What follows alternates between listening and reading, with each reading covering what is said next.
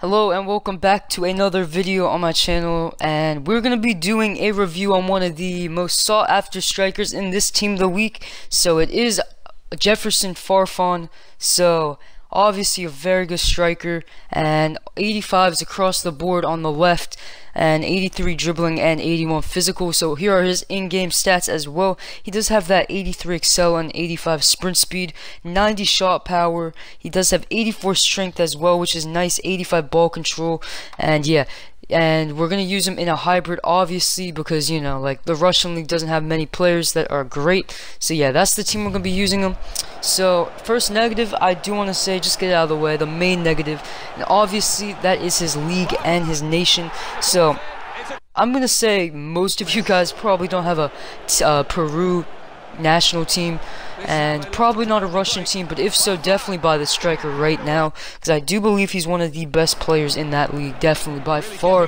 He uh, he actually reminds me a lot of the striker I reviewed earlier this month, I believe. The month ago, it was Locadia, uh, the Dutch striker. He had all 80 plus on everything. See, this guy, the defending doesn't matter. He's just a beast, well-rounded card with that mix of strength and pace, so he won't get bullied off the ball and that's one thing I like about him is his strength mixed with his speed which is just you know it's perfect. He's not too weak and he's not too slow. Now his dribbling I did like his ball control right? So he's not a flair type of player. He's not gonna sprint through your players. He's not gonna you know do these skill moves and juke. I mean he'll do that occasionally but he won't do that all the time especially since he only does have three star weak foot and three star skills.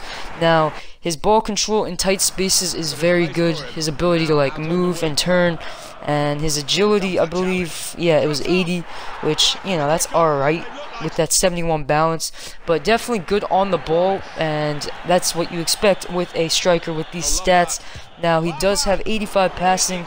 Now, I wasn't too impressed with this guy's passing as in terms of like link-up play and short passing and stuff. But he does have 85 short passing, 88 crossing, which isn't really useful for a striker anyway. And he does have that 83 long shot and 90 shot power. So this guy, very good in front of goal, especially outside the box. This guy, yeah, his long shots are just insane. So definitely feel comfortable with shooting from different areas of the pitch. Definitely a very good card. And yeah, he's just He's just the perfect striker, well-rounded, everything. Just the you know, main striker you need. Probably going to be a super sub, like I said, because you can't really link him. But yeah, after the games, five games, we did get 10 goals with him. So very good card. Really did enjoy this. And yeah, you guys got to pick him up. Probably would give him like a 9 out of 10, honestly. He was that good. Very consistent for me. And just such an enjoyable card to use and you can pick them up for around 20k but that is my Farfan review.